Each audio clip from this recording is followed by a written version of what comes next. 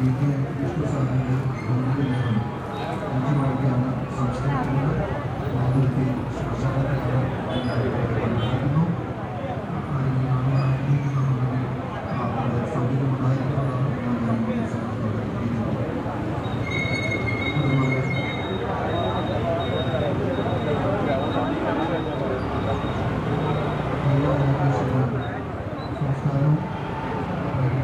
നമസ്കാരം.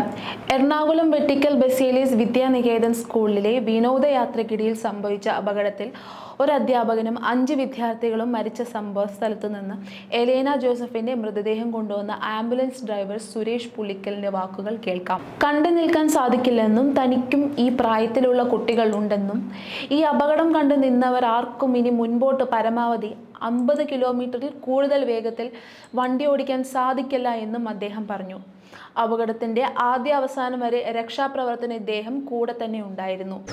ഇന്നലെ ഏതാണ്ടൊരു രാത്രി പതിനൊന്നരയ്ക്ക് ശേഷം ഒരു പന്ത്രണ്ട് മണിയോടടുത്താണ് വടക്കഞ്ചേരിക്കടുത്ത് അഞ്ചുമൂർത്തിമംഗലം എന്ന് പറയുന്ന സ്ഥലത്ത് വെച്ചിട്ട് എറണാകുളത്തു നിന്ന് ഊട്ടിയിലേക്ക് ടൂറ് പോയ ഒരു bus K S R T C ബസ്സുമായി കൂട്ടിയിടിച്ച് ഒരു അപകടം ഉണ്ടാവുന്നത് ഞങ്ങളൊക്കെ ഞാനും എന്നോടൊപ്പം നിൽക്കുന്ന സഹപ്രവർത്തകരുടെ കുറേ ആംബുലൻസ് ഡ്രൈവർമാരും ഒക്കെ അറിയുന്നത് തന്നെ ഒരു പത്ത് മിനിറ്റിന് ശേഷമാണ്. ഏതാണ്ട് പന്ത്രണ്ട് മണിയോടാണ് അറിയുന്നത്.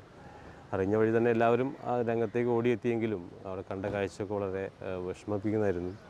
നിരവധിയായ ബോഡികൾ ചിതറിത്തെറിച്ച ബോഡി പാർട്സ് അതുപോലെ തന്നെ ചില്ലും റോട്ടിലെ മഴവെള്ളവും ചൂരും അങ്ങനെ മൊത്തത്തിലൊരു വല്ലാത്ത ഫീലായിരുന്നു ആ ഒരു കാഴ്ച. പറയാതെ വയ്യ. അവിടുന്ന് അപ്പോൾ തുടങ്ങിയ യാത്രയാണ് ഇപ്പോൾ ഇവിടെ ഈ ആ- കുഞ്ഞിനെ ഞാൻ എടുത്ത ആ കുഞ്ഞിനെയും കൊണ്ട് അവരുടെ സ്കൂളിന്റെ മുമ്പിൽ വന്ന് നിൽക്കുന്നത്. ഭയങ്കര വിഷമമുണ്ട്. കാരണം എനിക്ക് അങ്ങനെ ഒരു മോളുണ്ട്. അവളെ പോലെ തോന്നി എനിക്ക് കണ്ടപ്പോൾ. എന്താ പറയുക ഇപ്പോൾ അവരുടെ പള്ളിയിലെ വണ്ടി വന്നവർ കൊണ്ടുപോയതുകൊണ്ട് ഞാനിവിടെ നിന്നത് മാത്രം. അല്ലെങ്കിൽ ഞാൻ ഞാൻ എന്നോടത് അവിടെ വീട്ടിലെത്തിക്കണം എന്ന് പറഞ്ഞിരുന്നതാണ്. പക്ഷെ അത് ഉണ്ടായില്ല. എന്തായാലും ഭയങ്കര വിഷമം തോന്നി. കാരണം കണ്ടു കഴിഞ്ഞപ്പോൾ അവർ ഈ കുഞ്ഞു കുഞ്ഞൊക്കെ ആ ബസ്സിനടിയിലായിരുന്നു ആ സമയത്ത്. എടുക്കുന്ന സമയത്ത് ബസ്സിനടിയിൽ പെട്ടുപോയ മൂന്ന് പേരിൽ ഒരാളായിരുന്നു ഈ കുഞ്ഞ്. ആളുകൾ രക്ഷാപ്രവർത്തനമൊക്കെ വളരെ വളരെ ജാഗ്രതയോടെ അരമണിക്കൂറിനകത്ത് നമുക്ക് പൂർത്തിയാക്കാൻ കഴിഞ്ഞു. പോലീസിന്റെയും ഫയർഫോഴ്സിന്റെയും അതുപോലെ തന്നെ അവിടെയുള്ള നാട്ടുകാരുടെയൊക്കെ സഹായം കൊണ്ട് ഒരു അരമണിക്കൂർ കൊണ്ട് തന്നെ മുഴുവൻ ആളുകളെയും ഹോസ്പിറ്റലിലേക്ക് മാറ്റാൻ പറ്റി. പക്ഷേ ഇങ്ങനൊരു ദാരുണമായ അപകടത്തിൽ മരണമടഞ്ഞവരോട് നമുക്കൊന്നും രാജരാജനകൾ പോലും അർപ്പിക്കാൻ കഴിയുന്ന ഒരു അവസ്ഥയിലല്ല ഇപ്പോൾ ഉള്ളത് ഞങ്ങളുടെ ഒരു മാനസികാവസ്ഥ. അങ്ങനെ എന്താ പറയുക ആ- ബസ് ടോളിൽ കടന്നു പോകുന്ന സമയത്ത് അതിനകത്ത് പാട്ടും ഡാൻസും ഒക്കെ ആയിട്ടാണ് ആ കുട്ടികൾ കടന്നു പോകുന്ന വീഡിയോ കാണാം. ഏറ്റവും അവസാനം അവരുടെ ഒരു പക്ഷേ വീഡിയോ ഉള്ളത് ടോളിലുള്ള വീഡിയോയിലായിരിക്കും ആ ടോൾ കടന്നു ഒരു ടോളുണ്ട് ആ ടോളിൽ കടന്നു പോകുന്ന സമയത്ത് ആ ബസ്സിന്റെ വിഷ്വലാണ് നമ്മൾ ഈ അടുത്ത അടുത്ത കാലത്ത് കണ്ടത്. അപ്പോൾ അതിൽ അവരവരുടെ അവസാനത്തെ പാട്ട് പാടിയതുപോലെ തോന്നി കുട്ടികളും. ആൺകുട്ടികളൊക്കെ അതിന് ശേഷം ഒരു മൂന്ന് മണിക്കൂറിന് ശേഷം ഞാൻ അതിന് ശേഷം ആലത്തൂരിൽ നിന്നൊരു രാത്രി രണ്ട് മണിയോടുകൂടി അവരെയൊക്കെ വീണ്ടും ഒരു സ്കാനിങ്ങിന് വേണ്ടിയിട്ട് തൃശ്ശൂർ മെഡിക്കലിലേക്ക് റെഫർ ചെയ്തിട്ടുണ്ടായിരുന്നു. അതെടുക്കാൻ വേണ്ടി പോയ സമയത്ത് കുട്ടികളൊക്കെ ഒരു ഭയങ്കര പേടിച്ചിട്ടുണ്ടായിരുന്നു. എങ്കിലും അവരൊക്കെ ഒന്ന് റിക്കവർ ആയി എന്ന് പറയാം. പക്ഷേ ആ പെൺകുട്ടികൾക്കൊന്നും അത്ര പെട്ടെന്ന് റിക്കവർ ആവാൻ കഴിഞ്ഞിട്ടുണ്ടായിരുന്നില്ല. പല കുട്ടികളും ഇപ്പോൾ ഇഞ്ചേർഡ് ആണ്. പലരും അവിടെ ഹോസ്പിറ്റലിലുള്ള ആളുകളൊക്കെ. ഒന്ന് രണ്ടുപേരെയൊക്കെ അവിടുന്ന് ഹോസ്പിറ്റലിൽ നിന്ന് മറ്റു സ്ഥലങ്ങളിലേക്ക് മാറ്റിയിട്ടുണ്ട്. എന്താ പറയുക ദാരുണമായ സംഭവത്തിന് കൂടെ നിൽക്കേണ്ടി വന്നൊരു വിഷമമാണ് സങ്കടമാണ്. അല്ലാതെ അതിൽ എന്താ പറയുക അതിന് പങ്കാളിയായി എന്നുള്ളോ അങ്ങനെ ഒരു ഇതുകൊണ്ടോ ആയിട്ട് പറയല്ല. ആംബുലൻസിൽ നമ്മൾ വിവിധങ്ങളായ സമയത്ത് വിവിധ സ്ഥലങ്ങളിൽ പലതരത്തിലുള്ള ആളുകളെയും മൃതശരീരങ്ങളൊക്കെ നമ്മൾ കാണാറുണ്ടെങ്കിലും ഇന്നലത്തെ ഒരു കാഴ്ച എന്റെ ഒരു ജീവിതത്തിൽ ഇത്രയും ഒരു ഭീകരമായൊരു കാഴ്ച ഞാൻ കണ്ടിട്ടില്ല. ഒരു ഒരു ബസ്സിൽ നിറയെ കുട്ടികൾ അതും എല്ലാം എക്സ്റ്റേഴ്സ് കുട്ടികൾ. ആ bus K S R T C ബസ്സിലാണെങ്കിലും ഒരു തരത്തിലും പരിചയമില്ലാത്ത ഏതൊക്കെയോ നാട്ടുകാരായിട്ടുള്ള കുറേ ആളുകൾ. അതിൽ മരിച്ച ആളുകൾക്കും ഇരിക്കുന്ന ആൾക്കും നമ്മളൊരു ബന്ധമില്ല. കുറേ ആളുകൾ കണ്ട വണ്ടികളിലൊക്കെ കയറിപ്പോയി. ഒരു കൃത്യമായ കണക്കോ ഒന്നും തന്നെ ഉണ്ടായിരുന്നില്ല അവരുടെ. ഭയങ്കര സങ്കടം തോന്നിപ്പോയ കാഴ്ച.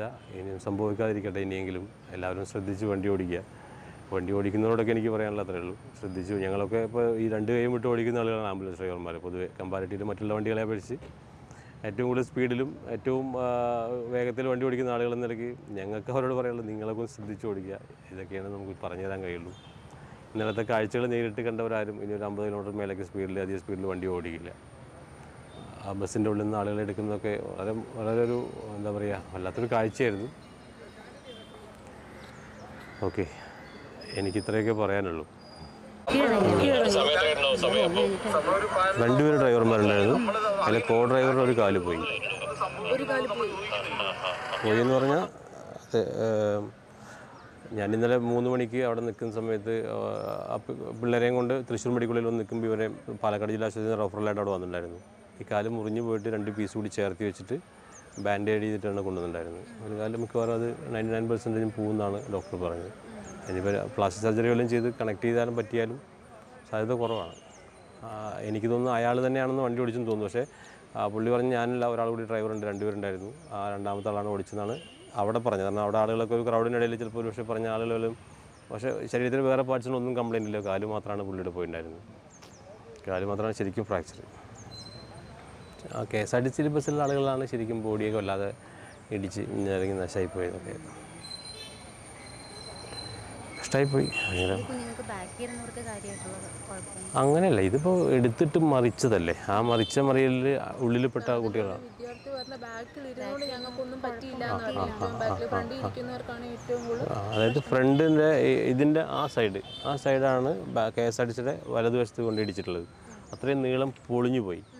ആ പൊളിഞ്ഞ് ആ കീറി പോയി. പൊളിഞ്ഞു പോയി. അത് അങ്ങനെ ബസ്സിനകത്ത് ആ കയറിഞ്ഞപ്പം തന്നെ ഒപ്പം തന്നെ വളഞ്ഞ് വട്ടായിട്ട് വട്ടമിട്ട് വീഴുകയും ചെയ്തു വണ്ടി. ആ വീണ വീഴ്ചയിൽ ഈ സൈഡിലിരുന്ന ടീച്ചർമാരും ഇവരൊക്കെ അതിനിടയിൽ പടിയിൽപ്പെട്ട് പോയി. ആ സൈഡ് സീറ്റിലിരുന്നവരൊക്കെ പെട്ടുപോയി അങ്ങനെയാണ് പിന്നെ ആ പയ്യന്മാരൊക്കെ ഓടി കളിച്ചുന്ന ചാടി കളിച്ചുന്ന പിള്ളേരൊക്കെ അതിനകത്ത് ഈ ലിബർ ലൈൻ എന്ന് പറയുന്ന വലിയ കാര്യമായി പരിക്ക് പറ്റിയില്ല അവർക്കൊന്നും. മറിച്ച് സീറ്റിൽ ഇരിക്കുകയോ കിടന്നുറങ്ങുകയോ ചെയ്ത ആളുകൾക്കാണ് വലിയ പരിക്ക് പറ്റിയത് മരണപ്പെട്ടതൊക്കെ. എന്നാണ് വിശ്വസിക്കുന്നത്. ആയിരിക്കണം. കാരണം ആ പിള്ളേരൊക്കെ അങ്ങനെയാണ് പറഞ്ഞത്. അവരൊക്കെ അവർ കുറേ പേരൊക്കെ ഉറങ്ങിയിരുന്നു. ഞങ്ങൾ കുറച്ച് പേര് ഉറങ്ങിയിട്ടുണ്ടായിരുന്നില്ല. ആ ഉറങ്ങാത്തവർക്കൊന്നും വലിയ കാര്യമായി പരിക്കില്ല. കാരണം വെച്ചാൽ അവർ വണ്ടിക്കുള്ളിൽ ഓടി നടക്കുക എന്തായാലും ആയിരിക്കും. ഈ മറിയണ സമയത്ത് ഒരു പക്ഷേ അവർക്ക് ബാലൻസ് ചെയ്യാൻ പറ്റിയിട്ടുണ്ടാവും. ഈ കമ്പി തട്ടിയിട്ടുള്ള മുറിവുകളോ അങ്ങനെ എന്തെങ്കിലും ചെറിയ ചെറിയ പോറലുകൾ മാത്രമേ ഉള്ളൂ. അല്ലാത്ത ആളുകൾക്കൊക്കെ നല്ല പരിക്കുണ്ടായിരുന്നു